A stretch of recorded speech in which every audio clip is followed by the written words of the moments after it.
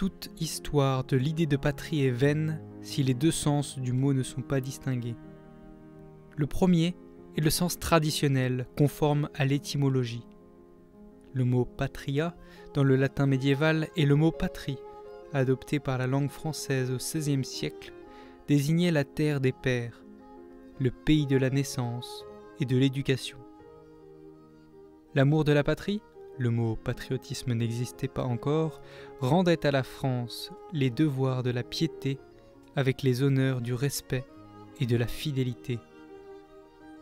La patrie était la France, la France était un être moral doté de vertus. Les Français évoquaient souvent ces vertus de la France et voulaient s'en montrer dignes.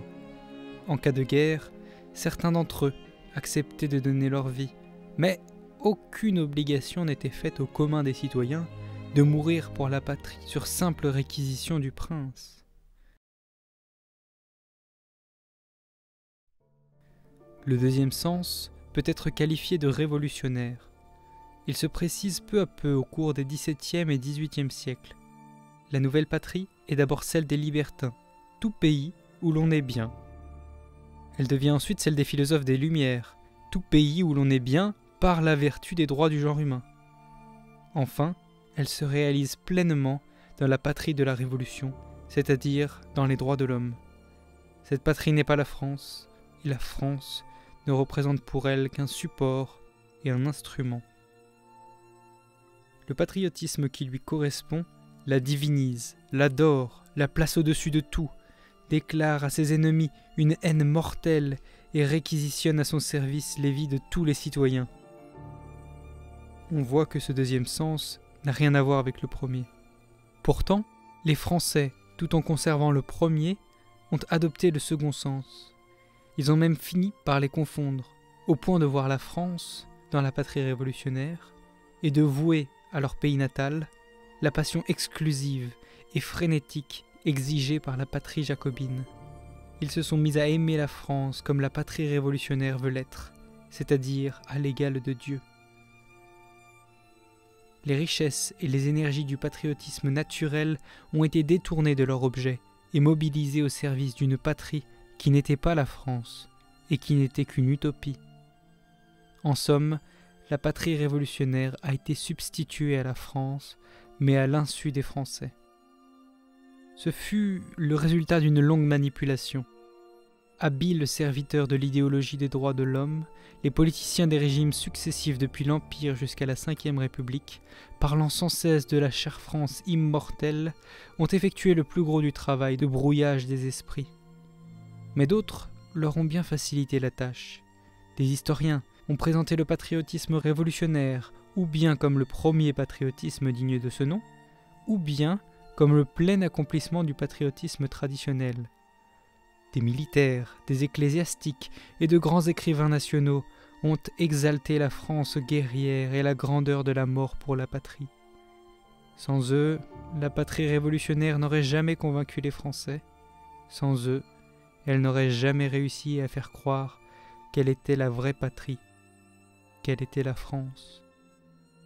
Cette patrie n'était qu'un mythe, mais des personnes respectables, des généraux, des évêques et des académiciens l'ont présentée comme une réalité, la réalité de la France. Il n'y avait plus qu'à mourir. La tromperie a culminé avec les guerres, et surtout celle de 14-18. On a dit aux Français en 1914 c'est la guerre du droit. Et ils l'ont cru. Et surtout, ils ont cru que la guerre du droit était vraiment la guerre de la France. Alors, ils ont engagé tout leur courage et sont allés se faire tuer par centaines de milliers pour le seul avantage de la patrie révolutionnaire. Ces innombrables vies sacrifiées ont certes rendu à la France l'Alsace et la Lorraine, mais elles ont servi principalement l'expansion de l'idéologie des droits de l'homme. Un si grand holocauste aurait dû frapper d'horreur les survivants et leur inspirer la plus grande répulsion pour la divinité avide de ces sacrifices sanglants. Il n'en fut rien. Au contraire, tout se passa comme si le sang humain avait humanisé la déesse, et les dernières préventions tombèrent. Un de nos amis, de famille royaliste et catholique, nous raconta un jour cette anecdote. Il avait douze ans alors, c'était pendant la dernière guerre. Son frère cadet et lui se plaisaient à chanter à tue-tête le refrain de la Marseillaise et celui du chant du départ. Un jour, leur mère, les ayant écoutés, leur dit Autrefois, nous ne voulions pas de ces chants dans nos familles, car c'étaient des chants révolutionnaires. Mais aujourd'hui, nous les acceptons, à cause des soldats de la guerre de 14, qui souvent sont morts en les chantant. Après la mort des soldats, la mort du pays lui-même. En ces dernières années du XXe siècle, nous entrons dans la dernière phase, celle de la disparition de la France. Le patriotisme révolutionnaire y travaille depuis longtemps. Nous savons que déjà les hommes de la Révolution et leurs successeurs et disciples du XIXe siècle rêvaient d'une France absorbée dans le genre humain.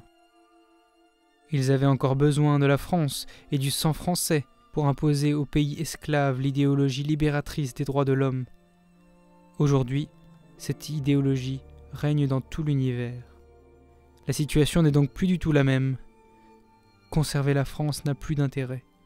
On peut même considérer son éventuelle survie comme un obstacle à l'avènement de la patrie mondiale confondue avec le genre humain. Il importe donc de hâter sa disparition. Cela ne fera pas difficulté car elle est déjà morte. Les guerres, les discordes et les épurations du patriotisme révolutionnaire l'ont vidé de sa substance. Le sacrifice des Français a préparé celui de la France. Il était temps de dire ces choses, et c'est pourquoi nous avons écrit ce livre.